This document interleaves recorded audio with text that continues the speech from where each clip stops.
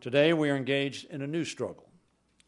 The challenge, uh, quite obviously, is great, but no greater than other challenges that our nation has faced and overcome.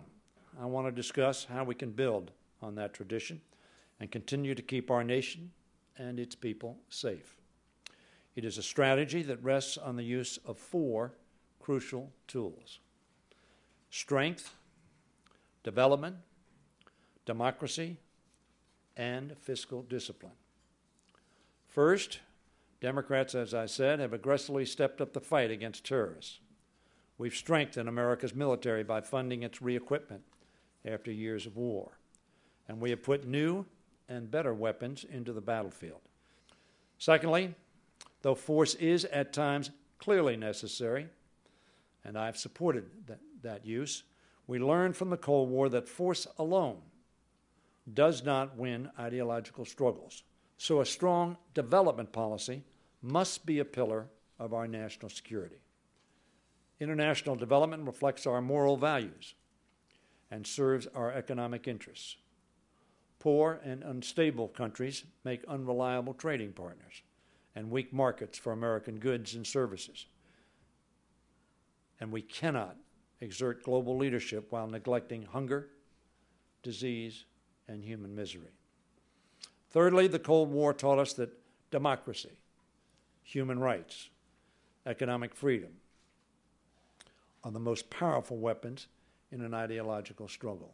Today, we meet that objective when we understand that the world's democratic movements in nations from Egypt to Iran have a legitimacy that ought to be recognized, not restrained by their governments. We meet that objective when we support those movements publicly.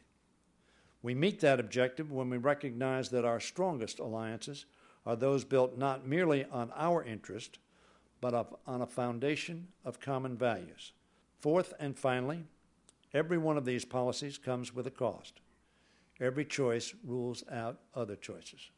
And I said fourth, but one of the things I left out in this speech that I wish I had put in that I will reference at this point in time, uh, but another critical component Uh, of our international security policy must be the pursuit of energy independence. With our publicly held debt reaching $9 trillion, defense spending can no longer and should not be exempt from the hard choices pressing on every part of our budgets. Arms alone do not win wars, particularly against an enemy that we will rarely, if ever, meet on the battlefield. Nations win wars.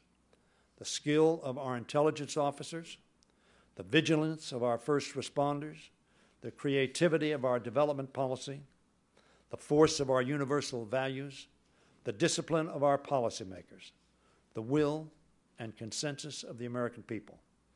They are all part of this struggle as well. They are all integral to our national security strategy, and we must use every part of that strategy wisely. Thank you very much.